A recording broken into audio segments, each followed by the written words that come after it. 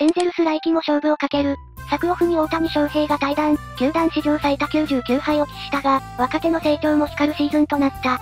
そんな中、オーナーモレノ氏、来季も優勝を目指した戦うことを宣言、チームの予算年俸アップを公言。期待はしないし、勝負かけるなら2025年の気がするけど。来年以降これでドジャースより先にワールドシリーズ出たらおもろい。ミナシアン GM、モレノオーナーをよろしく頼むで。チームが弱くなってから補強しようとしても同じ年俸提示しても選手来てくれないのでは？来年は100敗が濃厚な戦力なのは言うに及ばず、同地区の4球団に取り残されていく一方やろうな。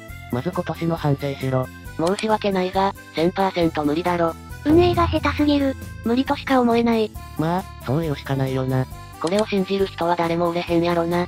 頼むからオーナーから身を引いてくれ。もう手放してほしい。金使えば強くなるわけじゃない。残りの年俸損してもレンドンを解雇しなきゃダメ。不良債権二人も抱えてるから無理やろ。投手を補強しなければ無理。ミナシアンをクビにしない時点で責任取らない組織。一番の補強策はオーナーの交代だと思う。この人はそもそも本当に野球が好きなのか？補強しようが姉妹がエンジェルスは5年以内に潰れると思う。金出せばチーム強くなるって思ってるのが間違いだな。もっと長期的に計画しないと無理や。エンゼルスなんかに行きたい選手いないだろ。売り時も買い時もタイミングおかしいんだよな。投手に金をつぎ込まない謎オーナー。球団経営に熱意がないな。まあ頑張って。